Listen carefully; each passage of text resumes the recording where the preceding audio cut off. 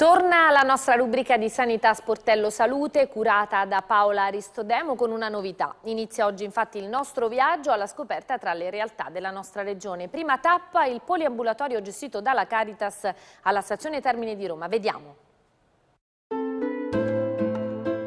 Quello che vedete è un cartello con su scritto area sanitaria nelle principali lingue del mondo. Ci troviamo all'ingresso del poliambulatorio della Caritas in via Marsala a Roma. Da oltre 35 anni questo centro offre cure a immigrati e senza fissa dimora. Qui con me c'è il dottor Salvatore Geraci, responsabile dell'area sanitaria della Caritas. Ma eh, quali sono i principali servizi che offrite? Oltre 300 i volontari volontari che lavorano qui. Sì, grazie veramente al lavoro di tutti questi volontari, medici, infermieri, farmacisti, garantiamo essenzialmente l'assistenza di base per le persone in condizioni di marginalità sociale, ma accanto all'assistenza di base c'è anche un servizio infermieristico, un servizio farmaceutico, eh, ma soprattutto l'ascolto, l'ascolto per dare dignità a queste persone che spesso sono invisibili pur essendo presenti negli angoli delle strade. Ma ora ascoltiamo la voce dei volontari e dei pazienti.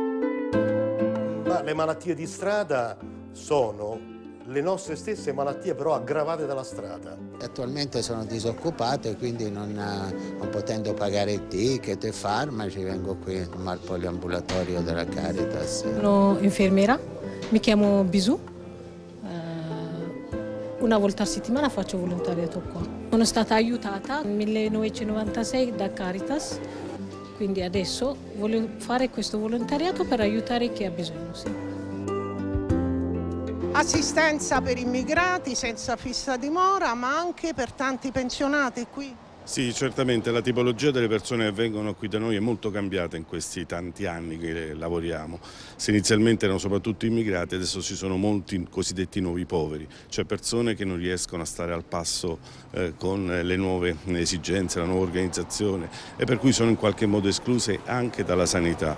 Le lunghe file d'attesa, i ticket a volte per alcune persone rendono impossibile l'accesso ai servizi sanitari. All'interno del centro c'è anche un servizio farmaceutico. Sì, eh, le medicine è un altro punto critico, non tutti riescono ad acquistare le medicine, soprattutto quelle medicine magari che sono da banco, quindi non sono prescrivibili ma che comunque sono essenziali per alcune situazioni. Ecco, noi cerchiamo di garantire anche questo per quello che possiamo. Ed è importante donarli questi farmaci qui al poliambulatorio? Ogni giorno è possibile portare qua, poi c'è un gruppo di farmacisti che le valuterà, le organizzerà e le metterà nuovamente a disposizione.